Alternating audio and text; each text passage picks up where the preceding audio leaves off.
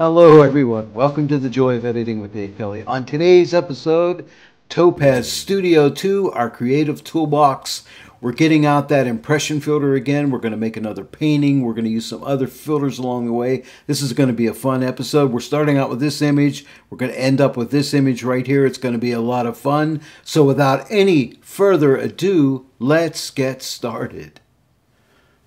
Starting out here in Photoshop, I went ahead and duplicated my background layer so I can work non-destructively. I'm coming up to Filter, coming down to Topaz Studio 2, and I'm launching Topaz Studio 2, and away we go.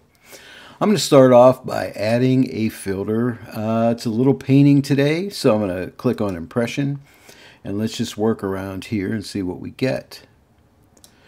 Uh, I'm going to, let's see, what do I want to do? I'm going to change my number of strokes, I think, to low. It gives you a little more painterly look. I mean, and right out of the gate, that's looking pretty nice. Next, I think I'm going to go down and work with my width of my strokes a little bit and my length. And a little larger, maybe, yeah, maybe something like that. That's looking pretty nice. Um, we can go through and sample a few different brushes here. See what we think. And that's not bad. Let me go back to the first brush. Nah, I'm going to go with that first brush. I tend to like the first brush a lot of the time. Let's go with the paint opacity and turn it up so we can get some, you know, you get more of a painterly look when you turn up this opacity here. And let's, how about the paint volume? Now, I also like to open up the histogram to make sure we're not blowing out the highlights because if you take this paint volume up, see how your highlights over here can get blown out really quick. So you got to be careful with this uh, paint volume adjustment here. So I'm going to ease that back a little bit. Let's check the paint opacity again. Yeah, something like that. That's looking really nice so far. Let's come down here to painting progress. I love this one too. So if you ease this back, it'll go through the different process that it took to get here. See, it started here and it built itself up slowly, slowly, slowly. And I like to run this up slowly just to get it to the point where I think I like that look. Like right there looks kind of nice and abstract. Even back a little bit more. That's pretty cool. Let me go to the right a little more and make sure I have it, you know, I've exhausted all my possibilities here.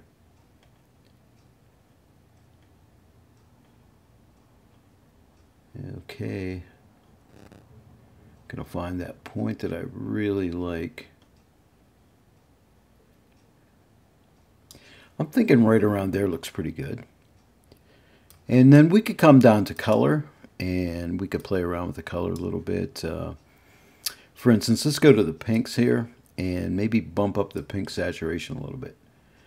Because there's some nice pink in that flower maybe there and we can play with its hue a little bit. Maybe somewhere around there and then we can adjust the lightness of it. Darken it up lighten it up. Let me double click it get it back to where it was. I think that was good. I'm going to come to the um, lighting here and I think what I want to do is I want to pull these highlights back a little bit here because I think those highlights are getting a little bit strong and I want to tame those down. Okay, and how about the overall brightness here?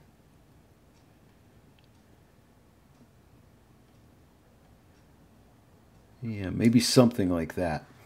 Now, if you click on the canvas here, left click it with your mouse, you can see the before and after, and I'm liking that so far. I think I might be a little too strong in that pink. I'm at 0.33. I'm just going to pull that back a little bit to maybe like a 0.28 just to ease off in that a little bit. Okay, and next I'm going to add a, a filter that I really like to use, and that is um, precision contrast with painting because it, it actually makes the paint strokes come out a little bit stronger. I'm going to start with uh, micro and pull those up now, I don't think I'm going to apply this everywhere. I'm going to apply it mainly to the flower and the vase that the flower's in. And so that's kind of what I'm looking at. So I'm working with the micro, now I'm working with the low. Let's play with a medium. Maybe not quite as much. And then let's look at the high. Maybe I'll pull the high back a little bit to the left. And then let's come up to the uh, layer mask icon and let's invert this. Come to the three dots, click invert, get yourself a brush. And I'm going to paint with white paint. I'm going to move that transparency, as you see, the whole way to the right. Get Adjust my radius here, and what I want to do is paint that effect on the flower and on the vase. And I have the edge aware on, which is going to help. Okay, see that right there? Now I'll put it on the vase here. And maybe that one little flower petal that is right here. Make my brush a little smaller. I'll pull the radius to the left a little bit. Paint on there. And you know where else I might paint is on this foreground area here where the uh, vase is sitting on. So I'm up at 100% or up to white paint, 100% white paint. I should say make my radius a little bigger. And I'm just going to paint across here in this section right here just to add a little bit more detail in there. Now let's come back up to precision contrast. And let's see what we got here. Let's see if I want to pull the micro up anymore. Yeah, I might want to pull that micro up just a little bit. Now let's click this uh, eyeball here so we can see there's before and there's the after. But yeah, see that how it draws some emphasis into the vase. Now I'm going to come and add another filter and this time I'm going to get a uh, precision detail filter. This is more of a sharpening filter. Now I'm only interested in this vase right here and maybe this petal down here. So what I'm going to do is pull up the small detail and we can work with small, medium, and large details. So I'm going to pull the small detail up a good bit here. And how about the medium? Let's see what we got here. Not quite as much on the medium. And how about the large? Not quite as much there. And let me go into shadows because I'm looking right over on this darker side here. And let's pull up the medium there. Yeah. Yeah, I like that. Somewhere around in there. Let me try the small there. Not so much. I'm going to double click that. And let's try the large. Don't want to go too crazy, but I might want to add a little bit of the large detail there. Okay, so now let's go ahead and come to the layer mask and we're going to come to the three dots here, give that a click and we're going to invert that. And now we're going to get a brush. Make sure your transparency slid the whole way over to the right so we have white paint. And I'm going to go ahead and paint that on this vase because I just want this vase to be standing out a little bit more. I'm trying to build a little bit of depth into this image here. Yeah, you see that? Let's make my radius a little bit smaller. Yeah, I'm going to paint on this petal here, but not quite at full transparency. I'm going to ease this off a little bit. We can sample this and try it and see. We can always change this if we don't like it.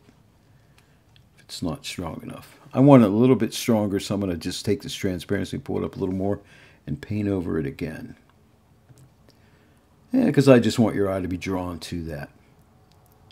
That's pretty good. Now, I think what I'm going to do is at that at that amount of transparency, kind of a it's a lighter color. Make my brush a little bigger, and I'm going to paint over the uh, the floor that this is uh, vase is sitting on, or the table, more than likely. So let's get the radius and bump it up some, and let's paint over here. Gonna miss that petal there. Yeah, that's pretty nice, right? See, because that adds a little bit of depth there. Looking pretty good so far. The next thing I want to do is play around with this background. I'm not really happy with this background color, so I'm going to get a filter here. Come up to Add Filter, and it's called Color Theme. This is a really cool filter. It breaks your image down the way I believe it does it. It takes the five most dominant colors of your image and breaks them down. Then you can alter those colors. So this is the original color up here, and you can alter them down here. Now, right now, they're the same until you alter them. So I'm going to go to uh, this second one right here. And that's the number of that color, by the way. And I'm going to see right now it's in the brown tones. I'm going to click over here in these um, more pinker tones. And right there, look how that harmonizes the image. That's pretty cool. Let's click the eye right here. There's the before and after. Now you can also come in here and you can uh, move move these around. Now this was the color right here. I can move this up or down, give it more color, less color. But right around there, I think I picked the right one. And I can adjust the lightness of it as well. And then this color right in here, here's another color in here. Let's play with that one. That's this guy right here. So let me click on it. And as you can see, it's right here. Let me click over into the pinker tones here. Yeah, just to tone those into the little more pinker tones. Now, if that was too much, I could pull it down just a little bit. It just adds a little bit of a pink cast, which I think that looks good. Now let's click the eyeball here. There's the before and there's the after. And I think that looks really good. The last thing I want to do, there's a little bit of pink here in this vase right here. Now there would be some natural pink in here due to the reflection off the off the flower, but I think it's a little too strong. So what I'm going to do is come to add filter, get another HSL filter or hue saturation luminance color tuning filter, and I'm going to go to the pink color. I'm going to pull the saturation the whole way off. And also, I think there might be some purple tone in there. So I might pull that back too. Yeah, see, there was some purple in there as well. And maybe even just a little bit of red in there. Let's try something like that. Let's come up here to the layer mask and let's invert that. And I'll get a brush and that's a good size. Make sure I'm painting with a white so I move my transparency the whole way to the right. And now I'm going to paint that adjustment on. Like so, and I have the edge aware on as well. Yeah, so there you go. Let's uh, let's click the eyeball. Here's the before, and here's the after. And if I went a little too strong there, because uh, I might want to let, let a little hint of that pink through, so I might just take my opacity and just take it off and then just add a little bit of that back in there. Maybe something like that. Now let's click the eyeball. Here's the before and there's the after. Yeah, that's looking pretty good. So let's go ahead and click accept. This will bring us back into Photoshop. Let's go ahead and zoom in because I see something on the image right here. See this little bit of pink splash here. Not a big deal, but I want to get rid of that. So I'm going to put a blank layer, this little icon right here, give it a click. Puts a blank pixel layer there. I'm going to get my healing brush right here. You can type J for your healing brush. That's a shortcut key. Make sure you have sample all layers set. And the reason I'm doing this blank layer is so I can work non-destructively. And I'm just going to paint over that little pink right there. And maybe this little pink right here. Just clean this edge up here a little bit. I'm holding the spacebar down and then I'm dragging across. There's a little bit of, of pink right up here. Get my healing brush here right there. And let me just move it again. That's looking good. Let me zoom back out. Yeah, that looks better, and I'm happy with that. Well, there you go, a happy little painting using Topaz Studio 2. I hope you enjoyed this one today. Give it a try, pull out that impression filter. Now, at this point with my image, I could flatten it and save it into whatever format or formats that I wanted to, or I could save it as a PSD and work on it later. But that's totally up to you, however you want to do it. I hope you enjoyed this one today. If you did, please give it a like and share it with your friends. If you're not yet a subscriber to my channel, please subscribe and click the bell notification icon. And then every time I upload a new tutorial, you'll be notified. Uh, also, please leave comments and questions in the comment section below, and I'll get back to you as soon as I possibly can.